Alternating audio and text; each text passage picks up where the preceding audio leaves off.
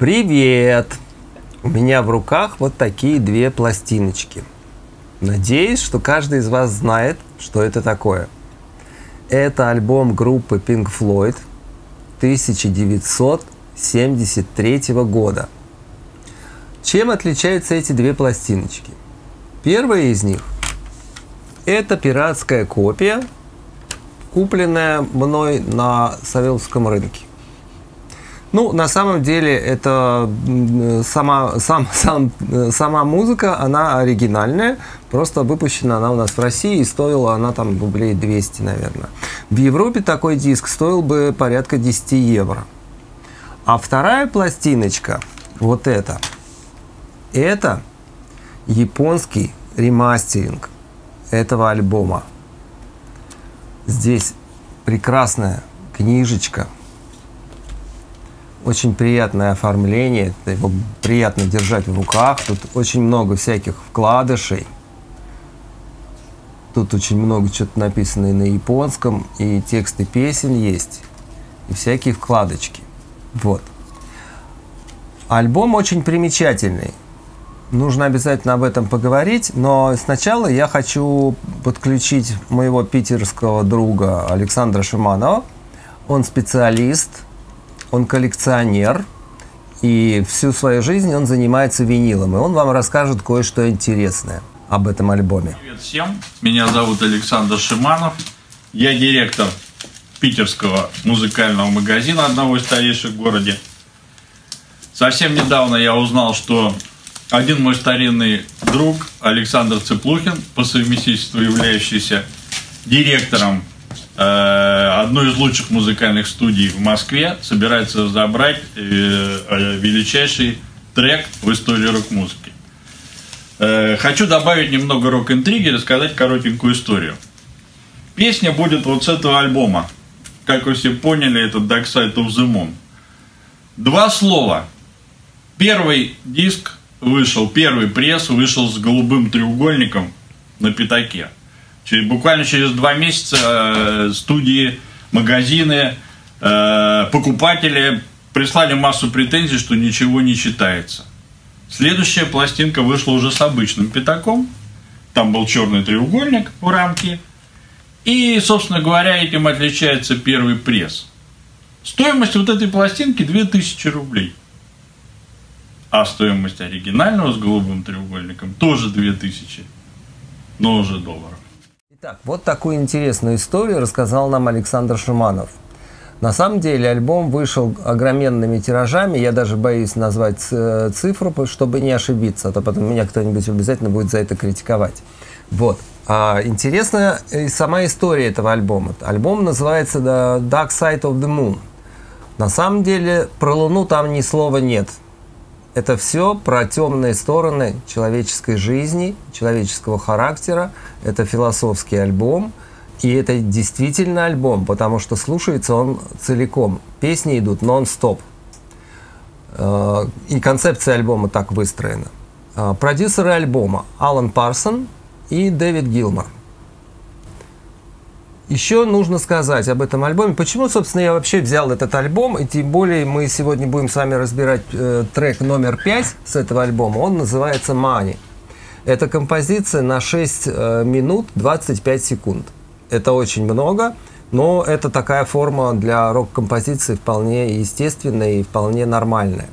Почему я взял этот альбом и почему я вообще об этом хочу поговорить? Давайте представим себе, наверное, многие, многие из вас этого не могут представить, но в 1973 году, представьте себе, не было ни одного плагина. Более того, не было цифровой реверберации в принципе. Весь этот альбом сведен э, на железном ревербераторе EMT-140. Вы видели такой плагин у себя в компе – вот. А это а, как раз оригинальный.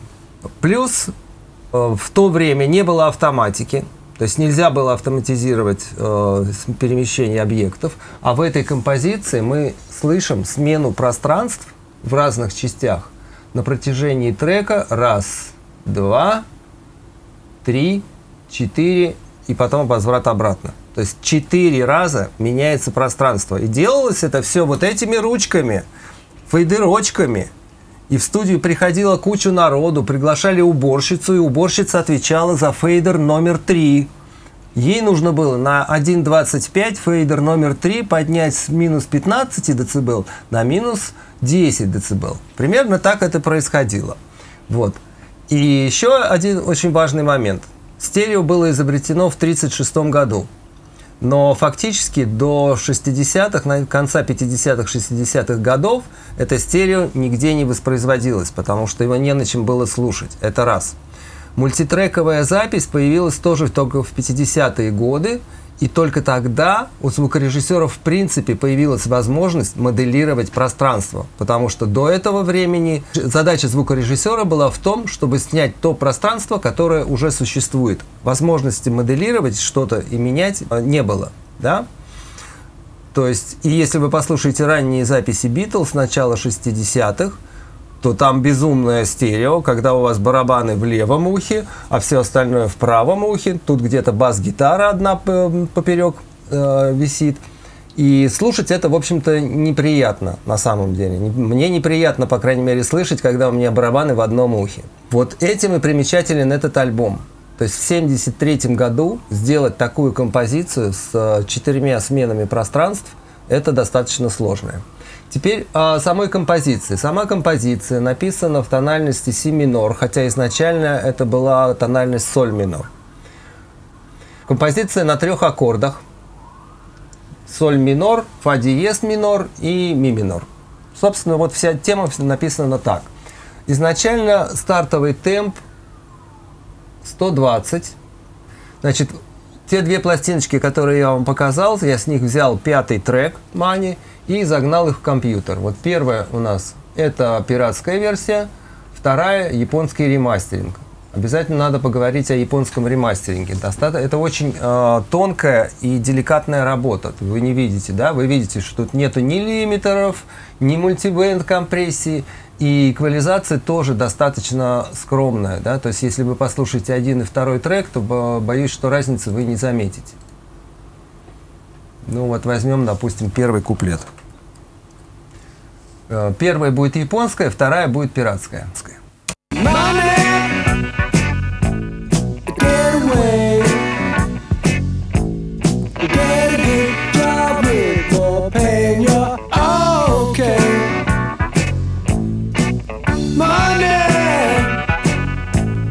Минимальная коррекция. Фактически они чуть-чуть подобрали муть э, в районе нижней середины и в районе низа. Все, больше никаких изменений нет.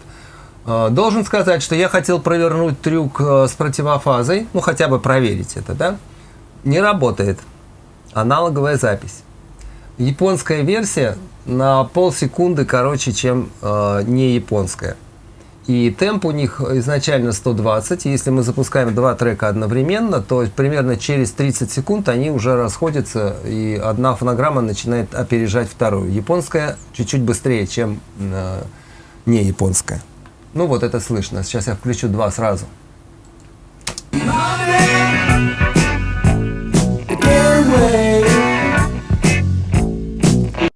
Ко второму куплету они уже расходятся.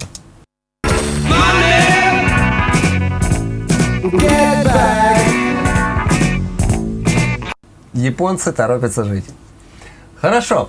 А, значит, сегодня мы проведем с вами анализ формы композиции. Я попрошу вас, я хочу, чтобы вы это сделали. Вы это сделали прямо вместе со мной. Я буду писать вот здесь на доске, а вы подготовьтесь, возьмите ручку, бумагу и слушайте внимательно и анализируйте форму. Надо сказать, что композиция написана в размере 7 четвертей, но ко второму соло да, ко второму соло гитары они переходят на 4 четверти и потом опять возвращаются в 7 четвертей. Сейчас мы все это услышим. Итак, слушаем и анализируем.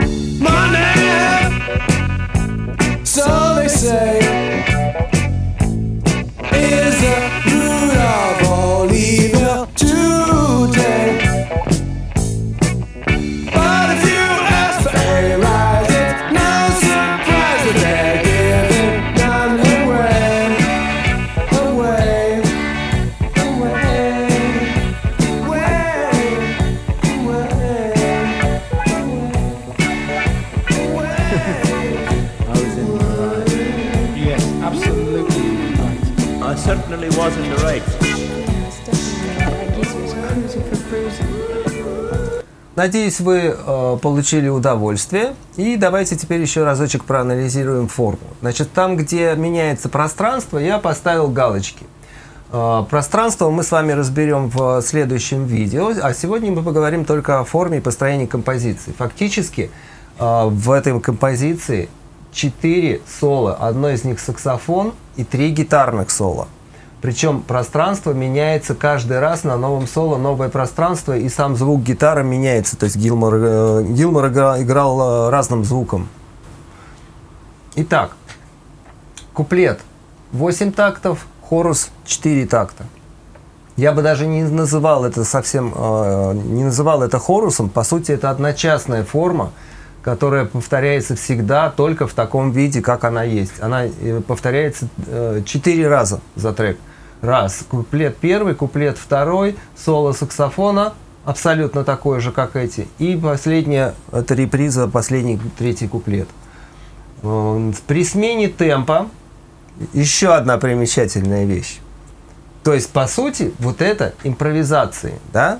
Но импровизация – это мысли музыканта по поводу того, что было раньше, по поводу темы, которая прозвучала раньше. Здесь это совсем даже не так, потому что, переходя на размер 4 четверти, они переходят на блюзовую структуру. И этого не было в песне, да? Получается, что это не импровизации, это, это, это придуманные гитарные соло. Так многие роковые музыканты поступали э, в то время, и э, это примечательно для этого трека. В целом, еще раз, композиция занимает 6.25 минуты. Ну, по форме, наверное, все. Мы с вами разобрали форму композиции. Я не могу вас мучить больше 15 минут, поэтому в следующем видео мы с вами разберем состав инструментов. Спасибо, что смотрите меня. Всем пока и всем хороших миксов.